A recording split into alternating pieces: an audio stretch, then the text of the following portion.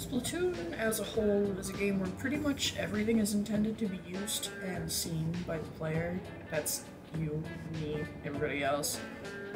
That uh, doesn't mean it's free from its own share of like weird and odd and uh, honestly unremarkable places, but also it's full of things that you never get the chance to see. So today we're going to take a look at those. I got this idea from Any Austin's popular YouTube series, Unremarkable and Odd Places in blank, usually Skyrim, Pokemon, uh, places like that. I'm Ooze, and uh, here's some strange and unremarkable places, uh, and also places you've maybe never gotten the chance to see before. First, we're going to start with the city. Um, there's honestly not a lot of places in the city that are unremarkable. The city is pretty well put together. We are in the middle of a Splatfest. I have yet to pick a team. Don't worry about it. Area number one is the Splatsville waterway entrance. During salmon runs, you can hear things laughing from in there, and that's horrifying. Uh, but most of the time, this waterway is pretty uneventful. Another sort of unremarkable area is this porta potty in the back. While people use this ramp up here to move around, uh, I don't think I've ever seen anybody come back here other to comment on the fact that this porta potty is here at all. Maybe for workers, the jellyfish, uh, us. Happy Splatfest, by the way. Pick a Splatfest team.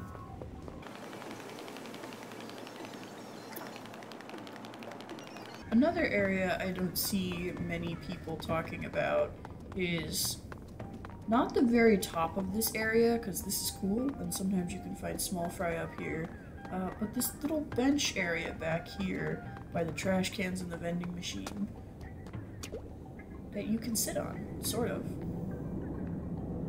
Who is Claude and why are we saving him? Another place I don't see people talking about a lot is the shoal. If you want to play games with your friends, and you're all in a room together, why not come to the shoal instead of starting an online battle?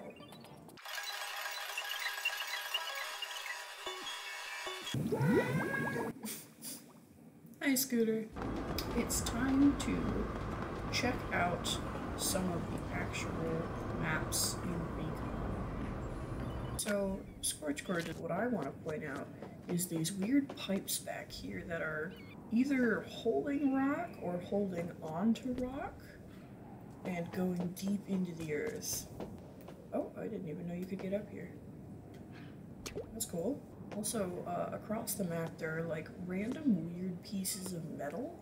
These nets up here can be gotten into using Zipcaster uh, and or beacon and a well-placed, well-timed uh, jump.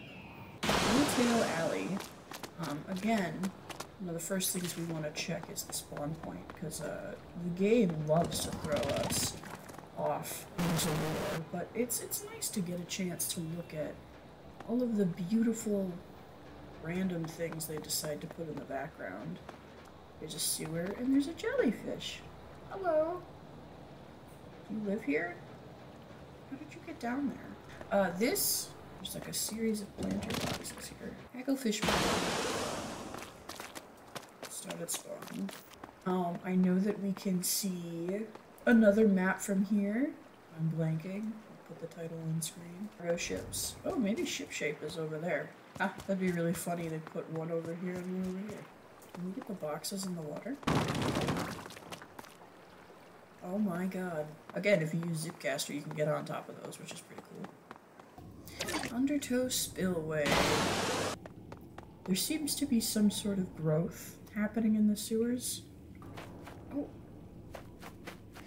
This is the first time I'm able to hear the grass in this area. Usually it's covered in ink. Here we are at Mincemaw. First off, look at this trash mountain. The jellyfish are hard at work. at trash mountain. There's cars in there.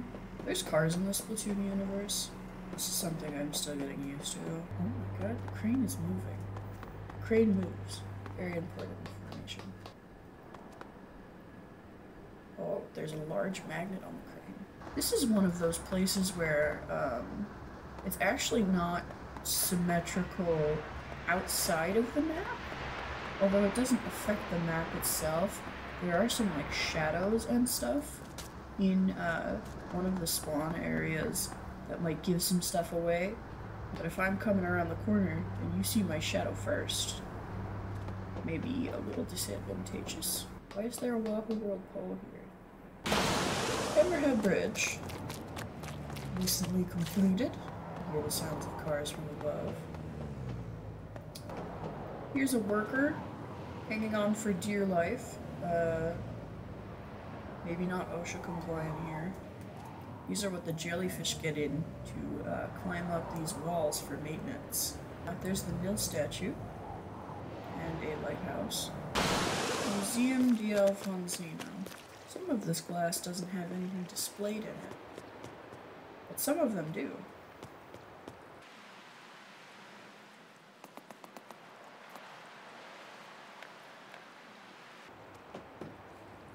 It's very beautiful artwork.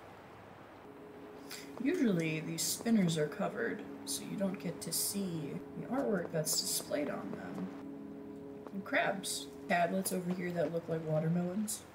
Shells of presumably early life. Maybe just shells. There's the Splatoon 3 logo. I don't think I've ever seen that in the actual universe before. On this side, there's this huge bronze and blue statue, and this huge kraken figure, although the paintings look the same as on the other. Okie dokie. Inkblot Art Academy. I love the sound of the grass. Let's see if we can show you how to get here. There we go. Yippee! Cars. I'm still not over the fact that there are literal cars. Here you'll see a very famous clam statue. Uh, the bottom is covered in bronze, or is worn away, which leads uh, leads me to believe that someone has either touched this a lot of times, or it was intentional. Here is a series of artworks. A Mother Inkling and Jellyfish Sun Saints. Ah, yes, here's the squid bust statue. I think they make replicas of this, because I just bought one today at the general store. Vesuvian Jellyfish Man? Ah, a student working on their art. How nice. There's a lot of weird places uh, in this map. There's a road, and maybe the entrance to the school over there.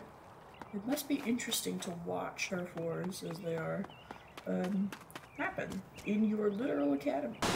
Here we are at Sturgeon Shipyard. We have plenty of, of life above the map. Uh, the jellyfish seem to love working here. We have some tanks uh, quarantined off from the players so they don't explode anything, which is probably a good idea. I wonder if this is actually a run used to pick anything up. MakoMart.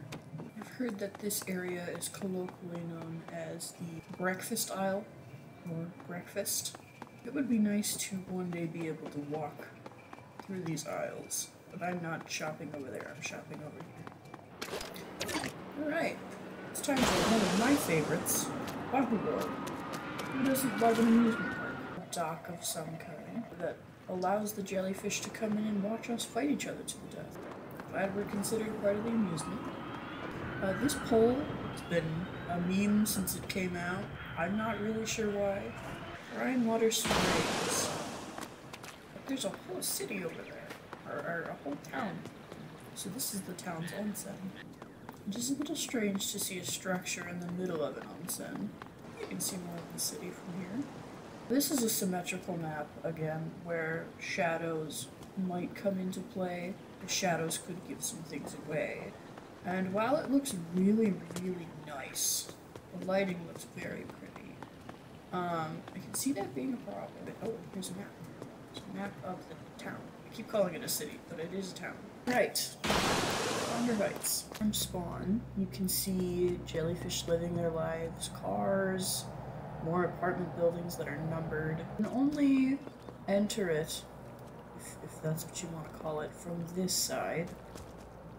As it's protected from this side. But you are able to enter it. I'm not going to jump into a point, but I'm sure somebody's died in here, uh, or been splatted in here, and it uh, wasn't pleasant and was very shocking. Seems to be some jellyfish partying on the rooftops. Oh, a playground. Hello.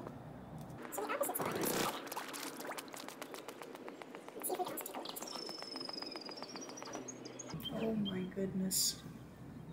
That's so cute. There's more here than I expected. We're here at Um'ami Ruins. Again, you don't really get a chance to see these, so it's nice to get a good look at them. News articles, perhaps? Some history on the area. This circular point um, seems like maybe something we shouldn't be walking on, but uh, if they deem it fine, I suppose it's fine. Oh, there's way more than I thought there was. Never gotten a good chance to look at these. Seems like maybe this isn't something we should be fighting on. Um, seems kind of historically important. Here we are at Manta Maria. Uh, there are flags for plaza posts and they look ridiculous. See if I can make this jump. Can stand in these. Uh, I'm not really sure why you'd want to. This is a little bit far from the middle of the area, but it is fun. It's calming. Nice to kind of just walk around here. Not much to see out there other than sailboats. Still a very nice view. Oh, a jellyfish. Hello. This must be the captain of the ship. On to everybody's favorite shopping mall, Barnacle and Dime.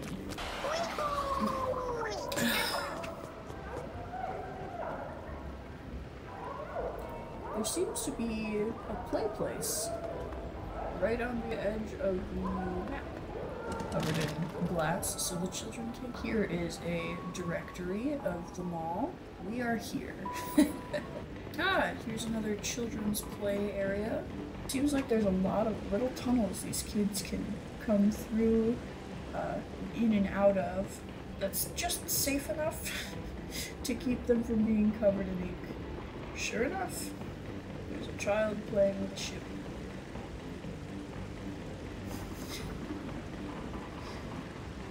That's very cute. Alright. On track. a skylight that is a little hard to look at.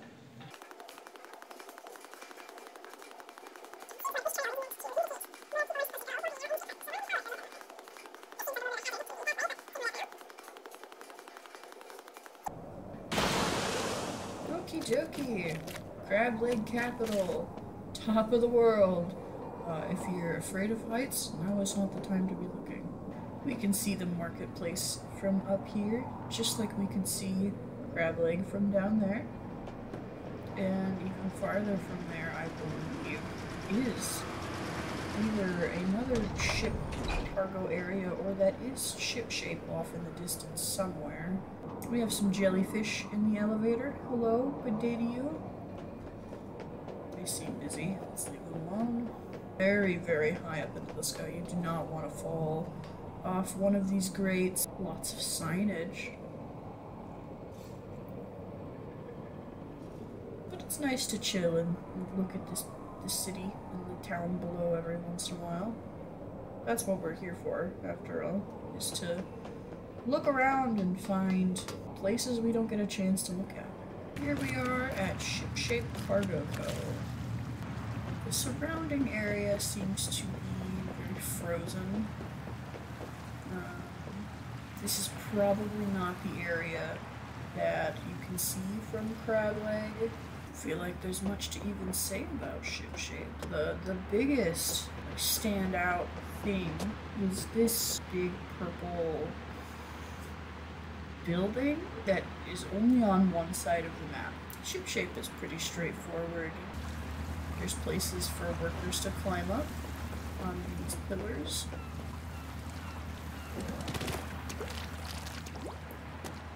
It looks safe enough. Much safer than Hammerhead Bridge. Wouldn't want to fall into that water though, it looks pretty, pretty cold. Time for Robo ROM-en. Now from what I hear, you can't actually get into the big cool ramen bowl, which is a little disappointing. Look, booths with a robo waiter. The elevator music is very cute.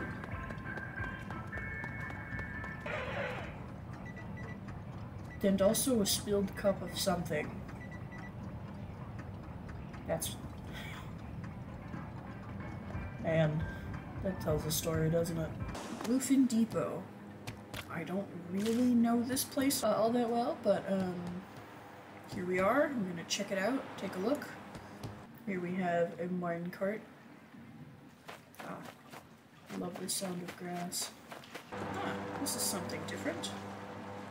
I don't know what it is. Okay, Marlin Airport. First things first, it is already really loud here. Planes in the distance. A hugely asymmetrical area, but it looks very nice. Ah, there's Perlina Airline. Hello. This is the most important thing in the entire game. Lesbianism. I want to say thank you to our lovely uh, recon lady for putting up with us through this entire ordeal. Remember to support your local workers and to go on recon and see all the crazy shit that's out there.